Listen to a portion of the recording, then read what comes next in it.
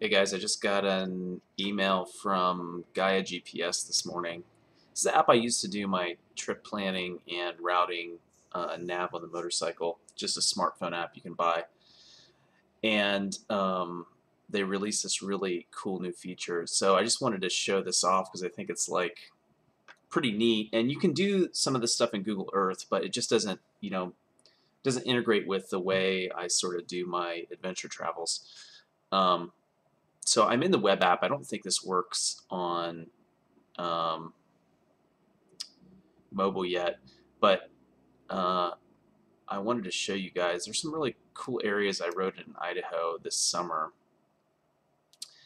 and here's one of them. You sort of you sort of come. So this is the Salmon River here by these campgrounds, and it goes out to Riggins, and you ride sort of through some some mountainous area, and then you come and you drop down into that area, and then the the BDR drops back uh, along the river and then goes back up in elevation again. So you can see these these uh, um, switchbacks that you go up to get up here. This this is called French Grade um, uh, along the French Creek, and it's a really cool area.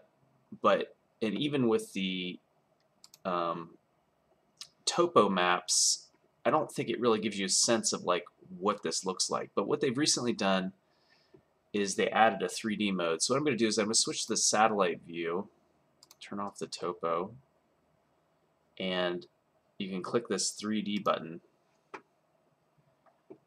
and it drops the whole thing into 3D. And these controls work very similar to like Google Earth.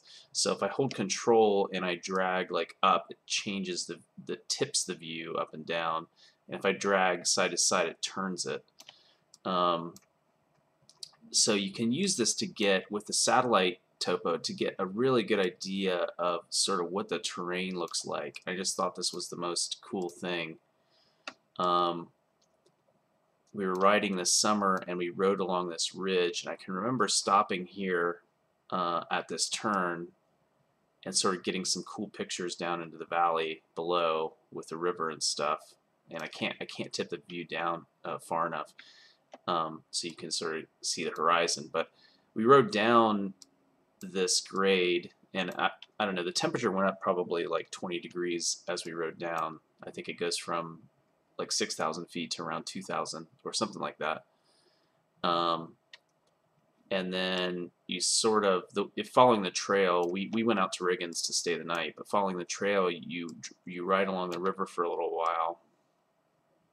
And there's just, along the river, there's just like beautiful pictures. I think one of the best pictures I took on the trip was from here down down the river here, and it just looks like a, a mirror. You get such great reflections.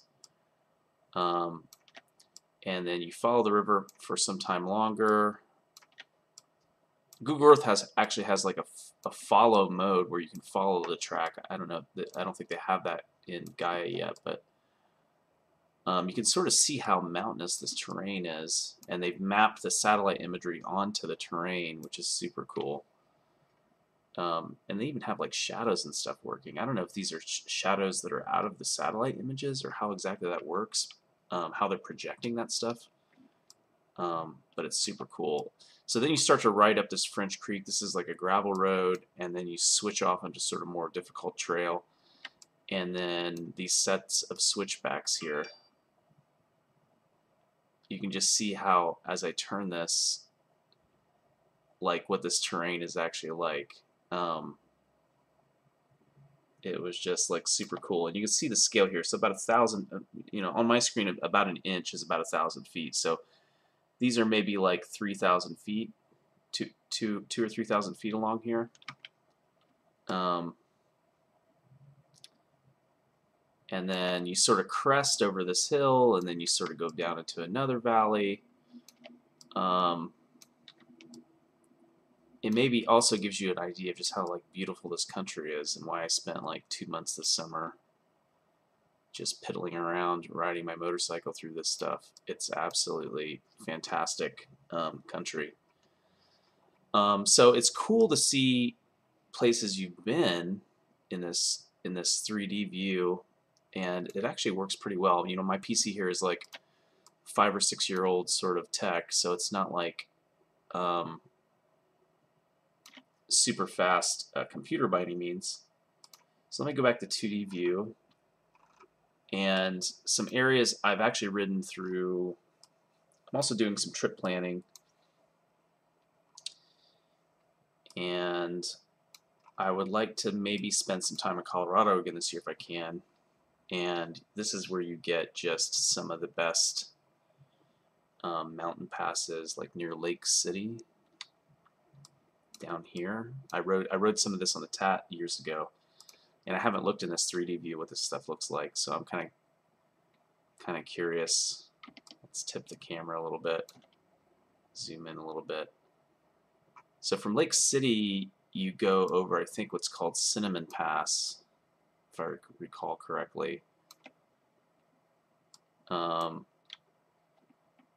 and you get up to somewhere around I think 13,000 feet through Cinnamon Pass. So you can see this is kind of like a, a lower river area where this lake is. Um,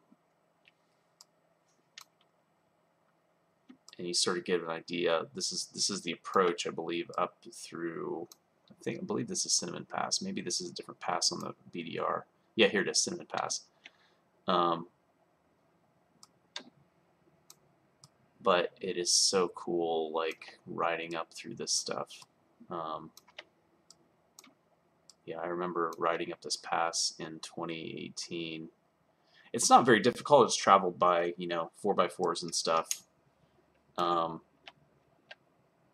but the, the the mountains in Colorado are just really majestic